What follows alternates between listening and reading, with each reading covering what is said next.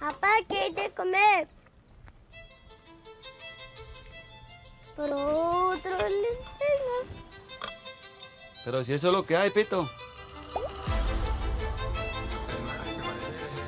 Pues a nosotros nos gusta hacer eh, cortos con historias locales de acá de la región. Entonces decidimos contar una historia pues, muy actual de lo que está pasando en algunas regiones de la zona rural de Cúcuta y pues mostramos eso mediante una, una historia eh, de ficción de un niño que hace una tarea para salvar a su, a su padre.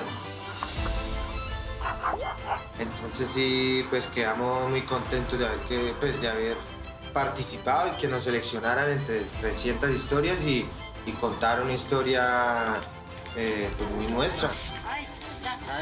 ¿Se acuerda cuando nosotros grabamos, no? ¿Qué se acuerda de eso?